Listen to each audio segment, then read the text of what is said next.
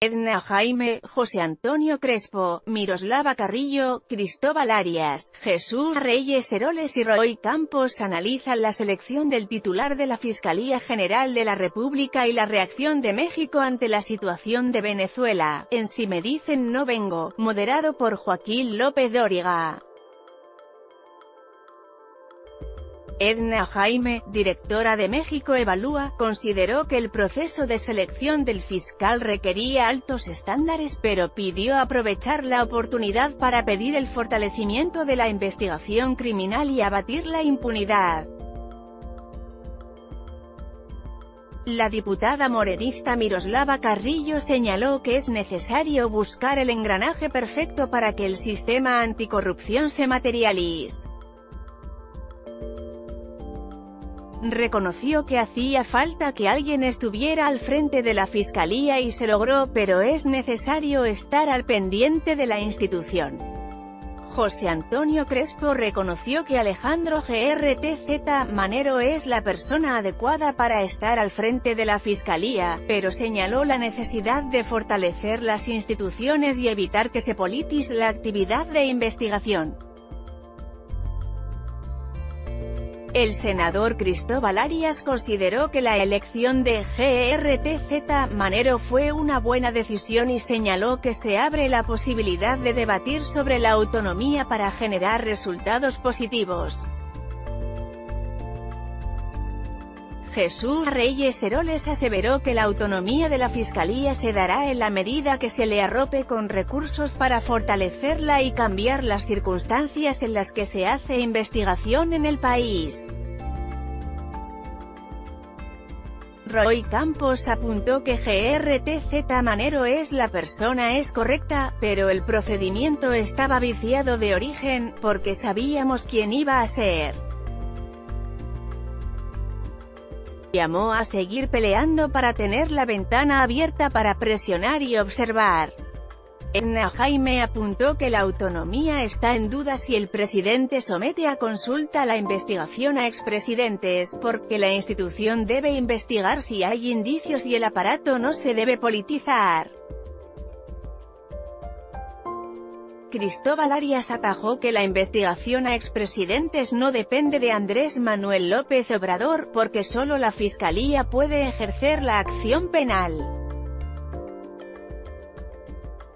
José Antonio Crespo dijo que la ley no se somete a mayorías, sino que se aplica. Reyes Heroles coincidió en que la consulta es improcedente. Roy Campos apuntó que la Fiscalía debe investigar si tiene indicios. A propósito de Venezuela, José Antonio Crespo explicó que existe una Carta Interamericana Democrática firmada por el llamado Grupo de Lima en los años 90, que se contrapone a los principios del Foro de Sao Paulo, que es la elección del gobierno de López Obrador. Cristóbal Arias defendió que la diplomacia de México pasa por el Senado en pleno, no por Morena y dijo que López Obrador no consulta al partido. Acusó que el gobierno mexicano ha sido prudente y cauteloso. Jesús Reyes Heroles dijo que se vive el choque de dos grandes placas continentales, una que viene de la Constitución y otra que se sobrepone y choca y que surge de la concepción del respeto a los derechos humanos. Para Edna Jaime, en Venezuela hay una violación sistemática de los derechos humanos y, no se puede voltear hacia otro lado.